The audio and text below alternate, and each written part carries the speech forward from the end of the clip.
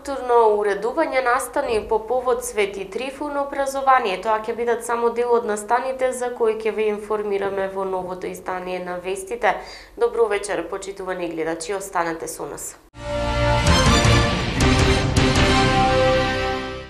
Интензивна комунална изградба во Кавадарци. Започната е реконструкцијата на мостот Слога, поставен е пешачки мост на Шишка, изградени тротоари на улиците Киро Крстев и Методија Джунов Джико.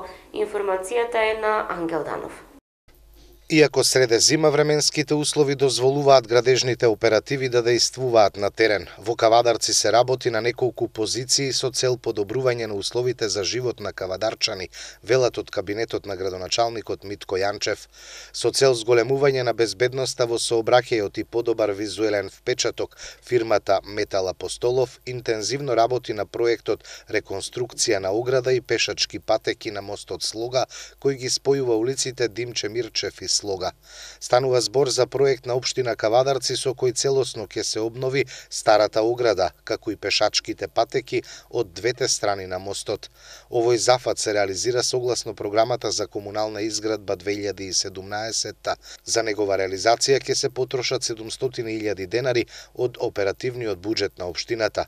Согласно програмата за комунална изградба Обштина Кавадарци го реализира проектот Пешачки мост на улицата Шишка, Мостот е лоциран на улица Шишка во правец исток-запад, веднаш над основен суд Кавадарци.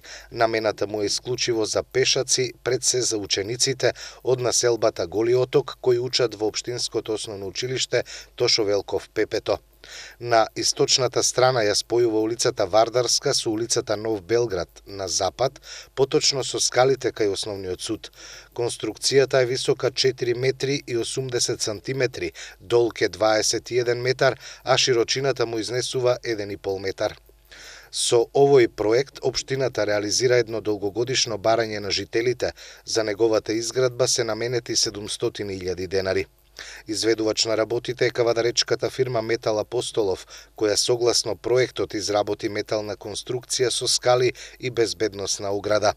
Како што информираат од прес-службата од кабинетот на градоначалникот Јанчев, деновиве се работи на изградба на тротоари на улиците Киро Крстев и Методија Джунов Джико.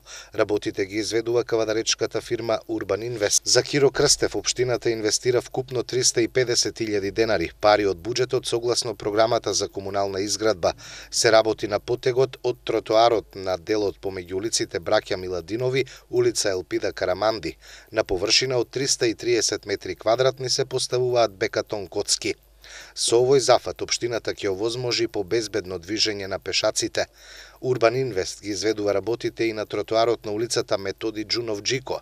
Согласно овој проект се поставуваат павер елементи бекатон коцки на површина од 130 метри квадратни на тротоарот од улицата на потегот од салата Партизан до спојот со улицата Браќа Миладинови, Во оваа фаза се работи на тротоарот до оградата на здравствен дом Кавадарци.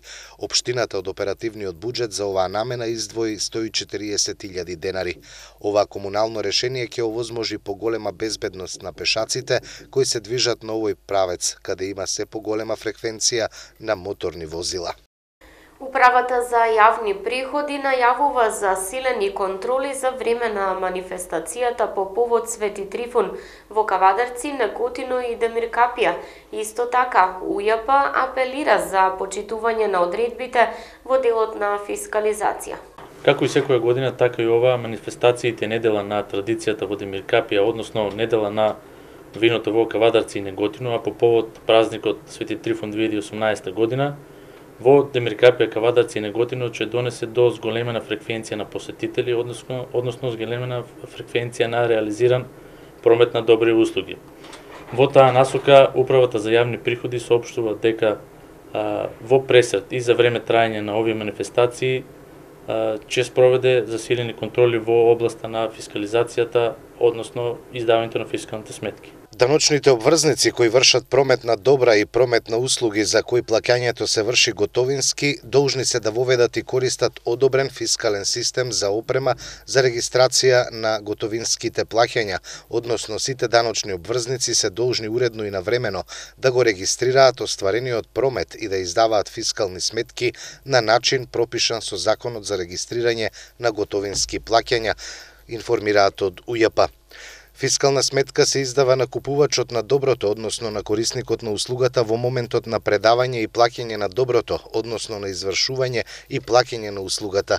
Исклучок од ова е правило е дилерската трговија кога даночниот обврзник фискалната сметка ја издава на дистрибутерот кој е должен да ја врачи на купувачот при плаќањето на цената на доброто. Даночниот обврзник е должен да ја издаде фискалната сметка во пропишана форма и содржина.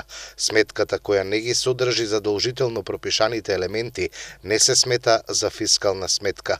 Купувачот на доброто, односно корисникот на услугата, неодложно мора да побара фискална сметка. Фискалната сметка е документ со кој купувачот може да потврди дека соодветното добро го купил од соодветен објект на датумот од печатен на сметката. Понатаму во известувањето дуја, па се нагласува, доколку продавачот одбие на купувачот да му издаде фискална сметка или продавачот не поседува фискален апарат, веднаш да се извести управата за јавни приходи на бесплатниот телефонски број 198 или преку интернет со пополнување на електронски формулар.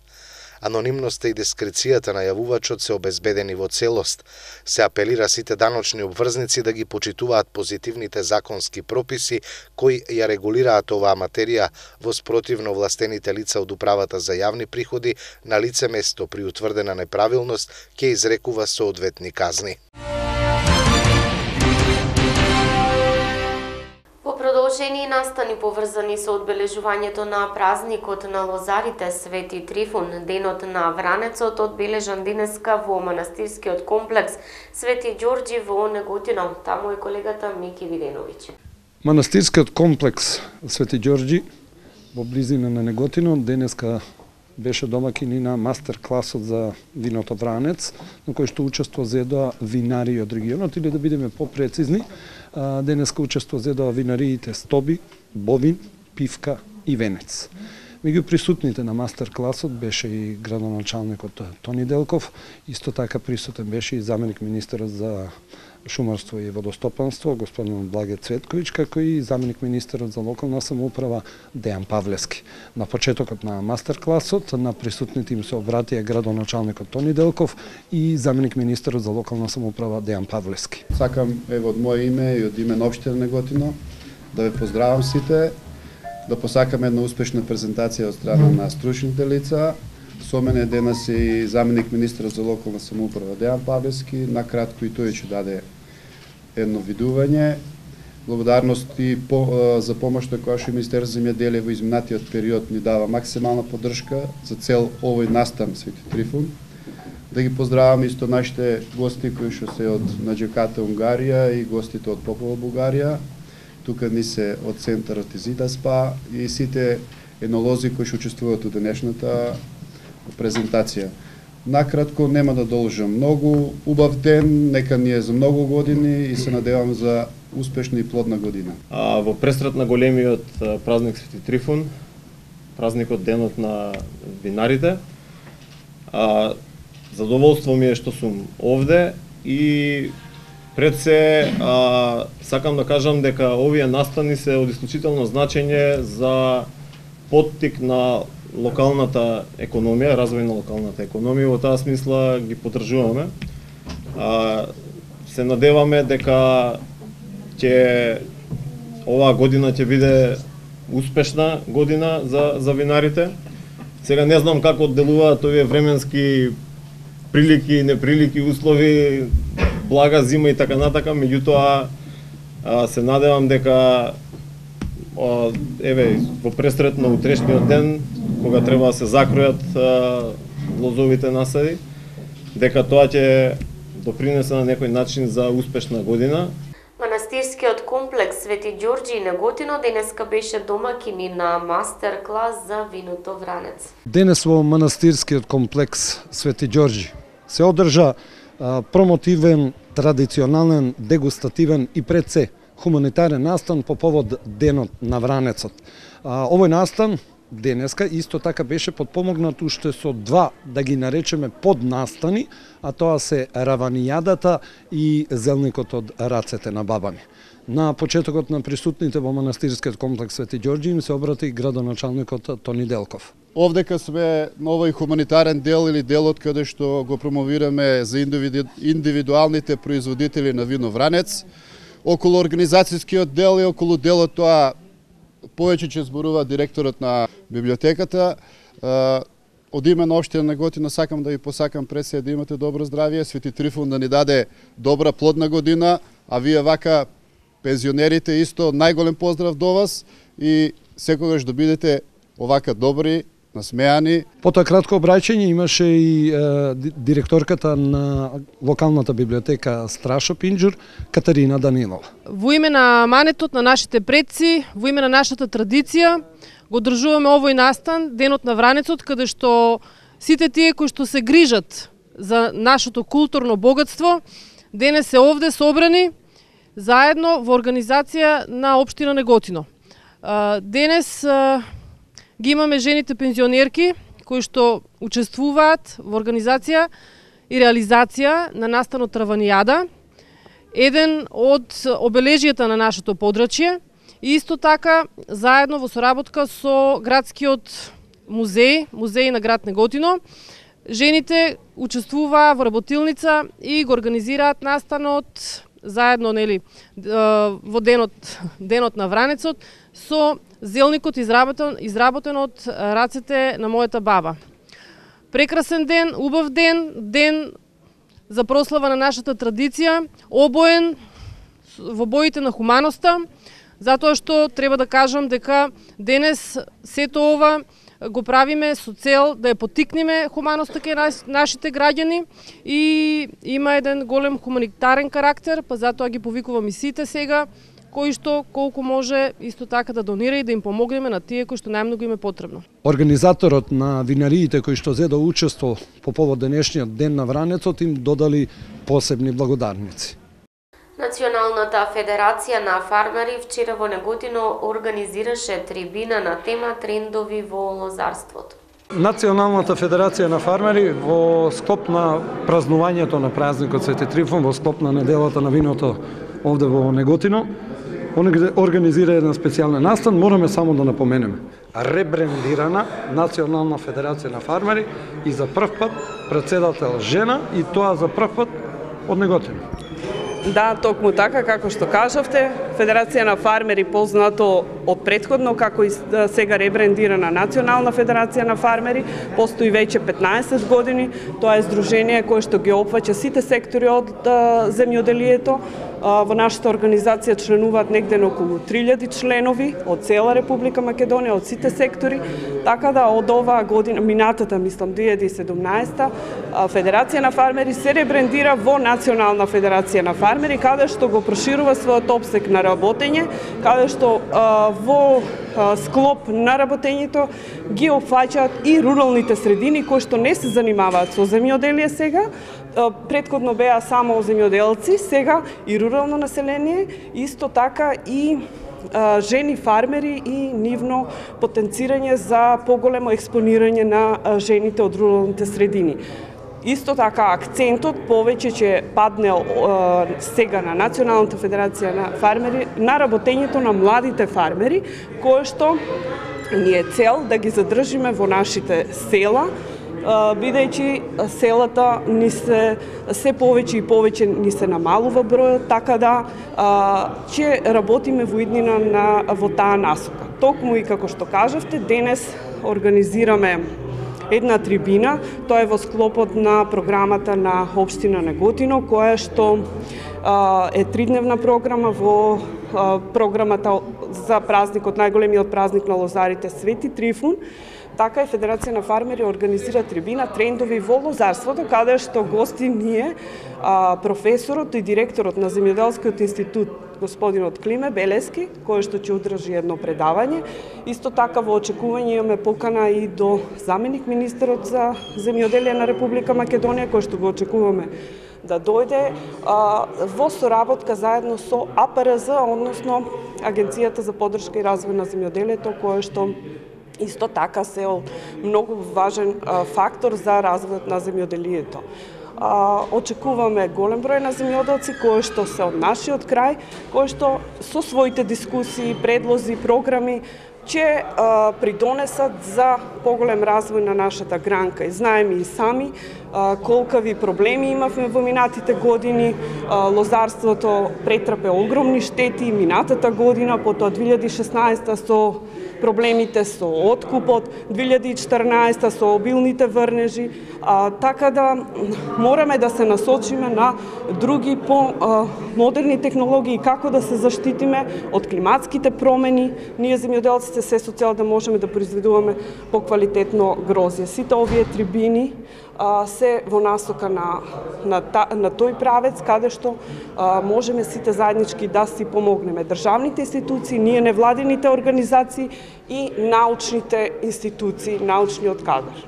Професорот Климе Белески беше најавен како предавач на така. вечерашната трибина ќе говорите за трендовите во лозарството? Трендовите во лозарството, значи актуелни трендови во лозарството во Република Македонија диктирани во врска со од климатските промени кои што се случуваат дефинитивно, значи како на глобално ниво, така и нели кај нас. Кои се трендовите поврзани нели со климатските промени и секако кои се тие адаптивни мерки кои што треба да ги примениме да се справиме со климатските промени во лозарството во Република Македонија. Од ќе ставиме акцент повеќе нели на мерките за адаптација, кои што се може да бидат краткорочни и долгорочни мерки. Од краткорочните мерки ќе спомнеме адаптивни мерки кои што се многу практични. Во лозарството може да се применат веднаш. Се работи пред се за примена на одредени агротехнички, односно ампелотехнички мерки, кои што треба да се применуваат во лозовите насади, како што е примена на заштитни УВ мрежи, понатаму примена на еден специфичен систем на кроење, означен како Т систем или Y систем на на огледување на кроење на виновата лоза и во последно време примена на калциум карбонатот. Тоа се од тие краткорочни мерки, а исто така ќе ги спомнеме и долгорочните мерки, како што се изборот на локацијата и изборот на соодветна подлога и сорта од виновата лоса. Колку вашето сознание, барем до денес, велат и што велат сушност, дали лозарите применуваат нешто од овие модерни технологии? Па лозарите се повеќе се свесни за климатските промени кои што се случуваат и секако веќе почнува да се применуваат делот од овие мерки. Токму и оваа трибина е да подигнеме уште повеќе свеста за присуството на, на, на завлијањето на климатските промени и секако за начин како да се справиме со нив. Сашко Минов, началник на подрачната единица на Министерството за земјоделство, шумарство и водостопанство, да. овде во Неготино.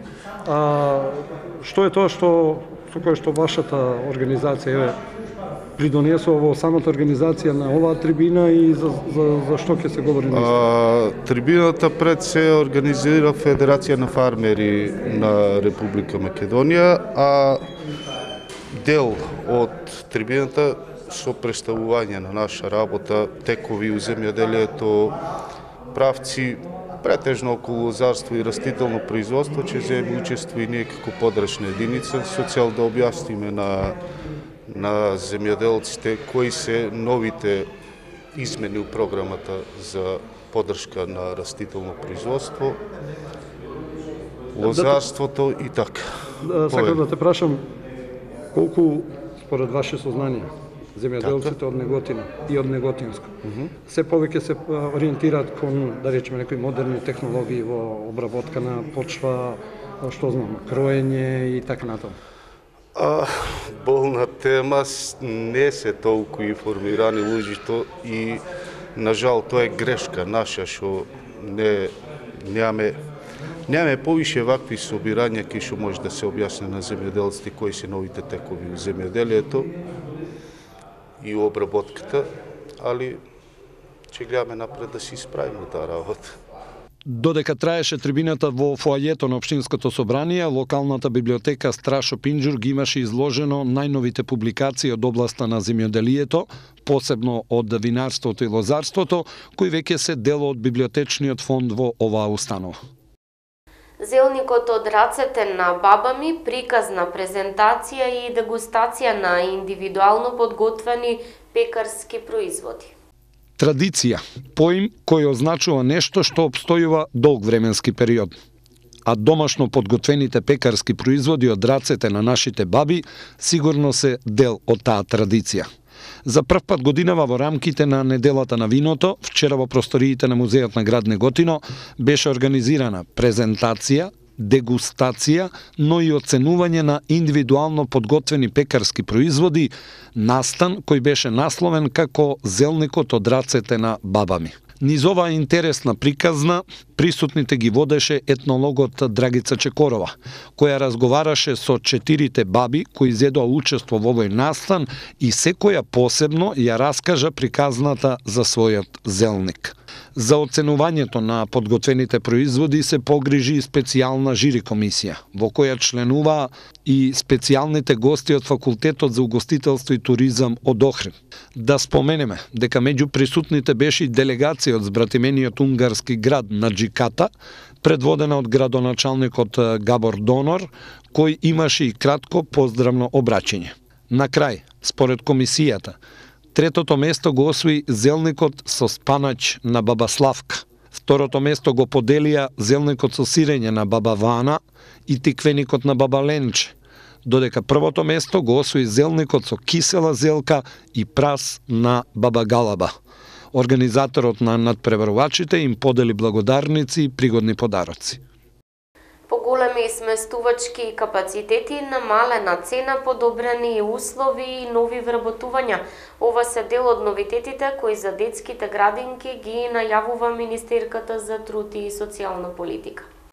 Вработените во градинките нема веќе да се вработуваат со договори на определено време, а за 4 години опфатот на децата во предучилишното воспитание ќе се зголеми за 50%. Ова ќе се овозможи со зголемување на сместувачките капацитети, како и со бројот на вработени. Самохраните родители наскоро ќе бидат ослободени од плаќање за престој на нивните деца во јавните градинки, а се размислува и за модел на скалесто плаќање соодветно на приходите на секое семејство.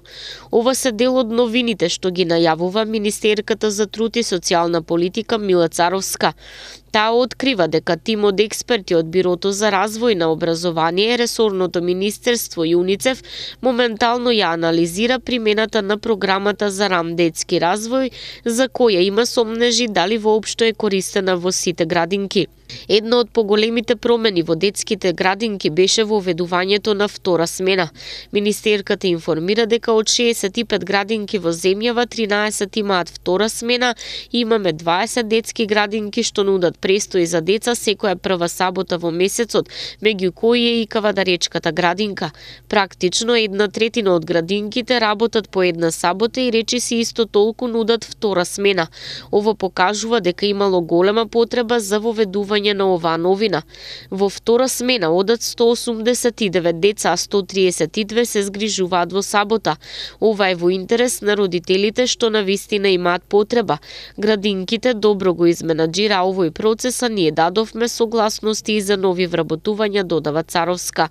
Таа се согласува и дека не достига кадар во градинките, каде групите се далеку поголеми од дозволеното, но вели дека проблемот кој бил пропуштен од предходната власт полека се решава. Во 2017 година се почнати 13 проширување и нови објекти кои се во фаза на тековно подпишување на согласности. Затоа владата заедно со Светската банка преговара за систематско решение на проблемот што ќе значи и задолжителен опфат на деца во градинка, посебно последната година пред одење во училиште, но и изградба на нови капацитети кои ќе може да опфатат поголем број на деца. Ова е план за 2019 2010 година. За 2018 година пак имаме 18 проширување и нови објекти. Ние побаравме од општините сите оние што имаат подготвени и легализирани планови за изградба и проширување на градинки да ни пратат информации. Добивме околу 50 апликации, а само 18 беа подготвени. Ако нема завршен проект план, не може да се објави тендер. Затоа само оние 18 што имаат чисти планови ќе добијат. На сите што ќе се подготват во меѓувреме, затоа што тие не беа спремни со плановите, ние ќе им одобриме. Ова се инвестиции во оваа тековна година, информира министерката. Да се надеваме дека меѓу нив е и новиот објект на Кавадаречката градинка во кругот на здравствен дом кој со нетрпение веќе година дена го очекуваат кавадарчани. Драстично се намалува бројот на средношколците, заедно со средношколците се намалува и бројот на наставниците, но со помали разлики. Бројот на ученици во средното образование се намалил за 15.000 во периодот од 2013 до 2017 година, покажуваат податоците на Институтот стратешки истражување и едукација. Она што прво паѓа во очи е дека во 2013 година во сите години прва, втора, трета и четврта во средното образование имало 85.000 ученици, а во 2017 година 70.000. Тоа значи дека бројот на ученици е намален за 15.000 за само 4 години, потенцира Дарко Спасовски од ИСЕИ. Трендот на намалување на бројот на ученици според него се должи во најголем дел на демографските причини. Не навлегуваме многу во причините, но она што можевме да го констатираме е дека со оглед на тоа што средното образование од 2013-2014 година е задолжително, најголема причина за намалување на бројот на ученици се демографските движења, вели Спасевски. Бројот на наставници е исто така во опаѓање, но како што вели не во ист процент како бројот на ученици. Во истиот период бројот на наставен кадар е намален од 7100 на 7000. Тоа смета Спасовски може во иднина да направи проблем со прекумерен број наставници, но посочува тоа зависи како ќе се алоцираат наставниците, кои во таков случај би можеле да се алоцираат на начин на кој ќе се обезбеди поквалитетно образование со помали паралелки. Студијата во која се добиени овие податоци, а ја изработил институтот, имала примарна цел да се види колку транспарентно се трошат средствата во средните училишта. Тие врз основа на слободниот пристап до информации со јавен карактер требало да ги дадат овие податоци за потребите на истражувањето. Средните училишта од 11 општини прво не ги дале потребните информации, а тоа го направиле дури откако била покрената постапка пред Комисијата за слободен пристап до информации од јавен карактер. За потребите на проектот изработена и веб платформа budnooko.mk со детален приказ за трошоците во средните училишта по разни основи во периодот од 2013 до 2017 година.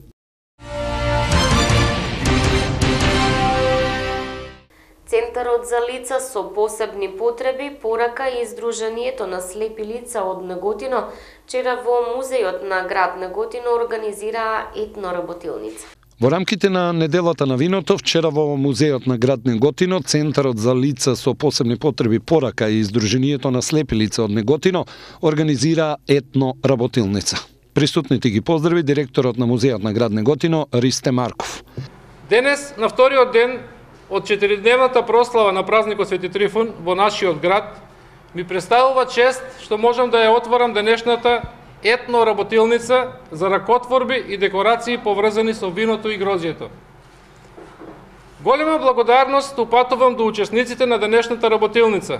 Од една страна, корисниците на дневниот центар Порака, кои се наши стари пријатели и со нив имаме веќе организирано изложби и од другата страна Сдруженијето на слепи лица на град Неготино, за кој би сакал оваа работилница да биде еден почеток за идна соработка.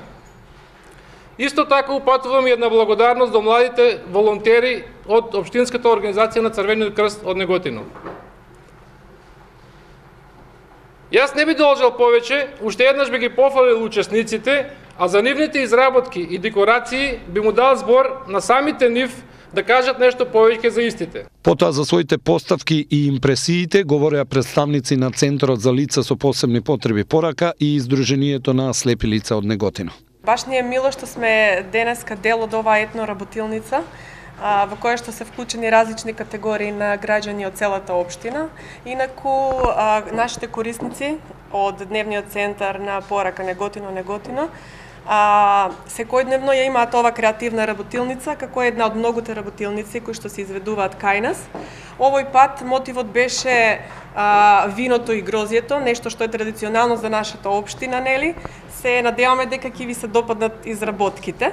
Нешто повеќе околу изработките може да каже Косте, тој е нашиот корисник кој што е вклучен во овие работилници. Може да каже постапката еве како се изработува едно шише. На шише се изработува од конап и од лепак и од се.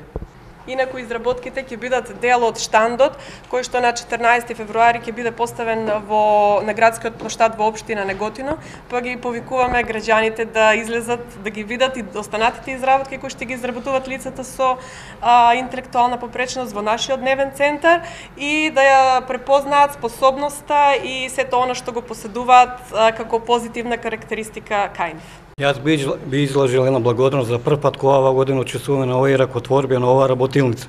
Им благодарам на општина Неготино, на, град, на градоначалникот на општина Неготино, исто така и на музеј на град Неготино, на ова што не го возможи за прв пат да учествуваме исто така. Многу благодарност до, се, до сите овие, до порака и до се. Мислам дека и понатаму ќе продолжи со работката со општина Неготино и со градоначалникот и со музеот. И ве благодарам е на висна што земеме учество ние во оваа година. Многу сум благодарен. На крајот на присутните им собрати и председателот на Советот на општина Неготино Диме Витанов. Во името на општина Неготино ми е чест што сум денес овде дел од вас. Сакам да им се заблагодарам на сите учесници на, на денешниот настан. Творбите кои што ги видовме се навистина интересни, убави во знакот на виното и на празникот кој што денес започнуваме да го чествуваме како општина Неготино од името на градоначалникот и од името на општина Неготино би доделил благодарници на учесниците во денешниот настан. На почетокот сакам да му се заблагодарам и на Градскиот музеј на Неготино, бидејќи се наш партнер во организација на овој настан. Витанов воедно подели благодарници на Музеот на град Неготино, како и на представниците на организациите кои зедо учество во оваа етно работелница. Корисниците од Центарот за помош на лица со ментален хендикеп порака од Неготино синоќа ја изведоа театарската представа Грозие, вино, љубов. И културата е ден од празнувањето недела на виното во Неготино. А, токму затоа Центарот Порака за вечерва подготви театарска представа. Верица Ташева ќе прашаме како одговорна за овој проект, за што станува збор, каква представа и така натаму. Значи, ние како Центар за помош на лица со ментален хендикеп, порака Неготино, Неготино, се вклучивме во овој, во прославата на Ден на виното со театарската представа Вино, грозија и љубов. Значи, ние во склоп на нашите активности во Дневниот центар со корисниците имаме проби, театарски проби. и Во склоп на тие активности произлезе оваа театарска представа која се вклопи во самиот амбиент и прославата на Свети Трифон. Значи, некако излезе наменска представа. Па да, така може да се каже. Бидејќи самите самото тоа вино, грозија и љубов покажува, укажува на тоа. Дали дечките од порака и досега имаат и други театарски представи работено? Да, да, ние веќе ова ни е четврта театарска представа. А, имаме неколку предходно и за 2019, 18 веќе и 19 подготвуваме нова. А зашто се работи по самата представа? Значи самата представа е склоп на неколку легенди А, и а, ние не сакаме да работиме на трагедии и да гледаме трагедии, така да комбинирана е од повеќе легенди во една позитивна а, позитивна смисла. Со позитивен крај. Една историска комедија. Може така да се каже. А, текстот прилагоден? Текстот наменски значи напишан за нашата организација и прилагоден спрема потребите и можностите на нашите корисници. Исто можам да морам да кажам дека е инклузивна бидејќи вклучени се студенти, средношколци кои што секогаш се со нас и ни помагаат при реализација на овие активности.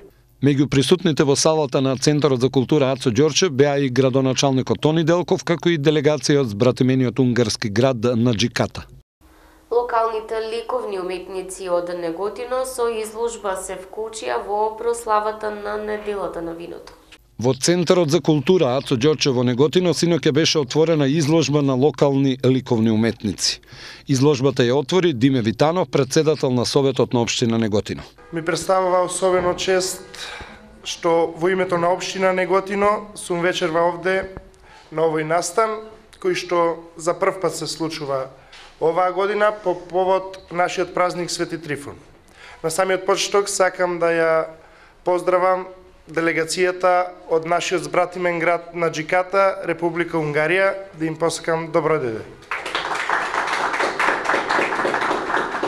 Ви се заблагодарувам на сите присутни што сте вечерва на нашиот настан, особена благодарност до ликовните уметници, уметници кои што земаа учество во организацијата на овој настан, кои што повторувам за прв пат оваа година е како дел од новите активности кои што општина Неготино ги има предвидено оваа година, а се надеваме дека овој настан во иднина ќе биде и традиционален.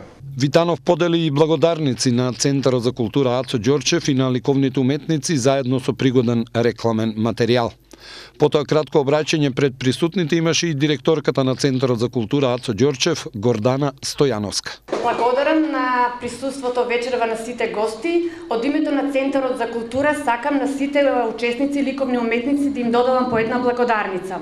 Стојановски исто така подели специјални благодарници и пригодни подароци на присутните ликовни уметници.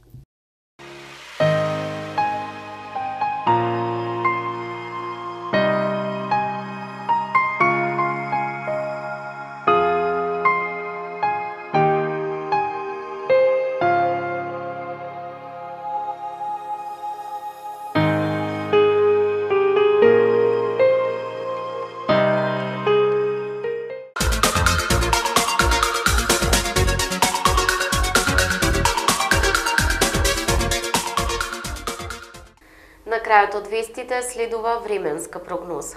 Времето ќе биде променливо облачно во текот на денот со сончеви периоди во крајните западни делови со повремен слаб снег, ќе дува слаб до умерен ветер од северозападен правец, а утре температура до 10 степени. Гледавте вести, имајте пријатна вечер.